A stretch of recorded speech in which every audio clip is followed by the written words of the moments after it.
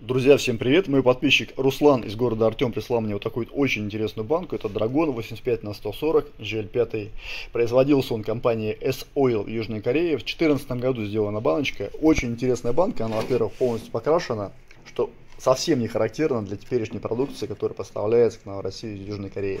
Вот, к примеру, посмотрим на современную банку S-Oil драгоновскую.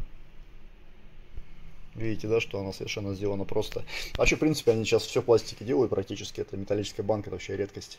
Так вот, банка очень хорошо сделана, качественно. Прям полиграфия такая четкая, прям, ну реально, очень качественно сделана банка, тем более для 2014 года. Так вот, здесь еще такой интересный есть нюанс. Такое отверстие с корейской надписью, который Google очень смешно перевел. Мне сначала он перевел мне как дыхальце, потом перевел как воздушный синяк. И только с третьего раза он перевел как отверстие для забора воздуха. Это отверстие специально нужно для того, чтобы когда заливаете масло, у вас не завоздушивалось, не образовывалось как бы вакуум, и воздух попадал, и масло выливалось легко.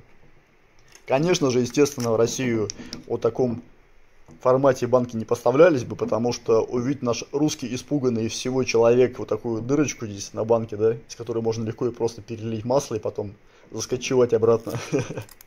Конечно, будет он, он, он бы этого не понял, естественно. Поэтому это только для внутреннего рынка Кореи сделано. Если кто-то встречал когда-то вот такие вот тоже вот штуки, специально на металлических банках с дырочками, потому что я этого никогда не видел. Пожалуйста, отпишитесь в комментарии. Мне просто интересно, какие еще производители это используют.